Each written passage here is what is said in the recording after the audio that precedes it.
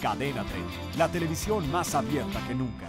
Y hay más reacciones por la liberación del narcotraficante Rafael Caro Quintero, ocurrida el viernes en Jalisco tras 28 años de reclusión. La portavoz del Consejo Nacional de Seguridad de la Casa Blanca, Kathleen Hayden, dijo que hay una profunda preocupación en su país por la liberación del capo mexicano.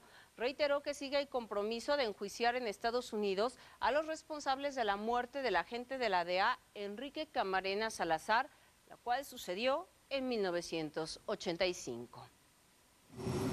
En tanto, abogados de Ernesto Fonseca, alias Doneto, también fundador del cártel de Guadalajara, presentaron una apelación para que su cliente fuera excarcelado bajo los mismos argumentos que Rafael Caro Quintero. No obstante, el Consejo de la Judicatura Federal negó que Doneto, de 90 años sin compadecimiento renal, haya sido liberado. Aseguró que el capo no promovió amparos contra las acusaciones por las que fue detenido hace 28 años. Suscríbete a nuestro canal de YouTube para que siempre estés informado de las últimas noticias de México y el mundo. Empieza ahora mismo dándole clic a estos videos.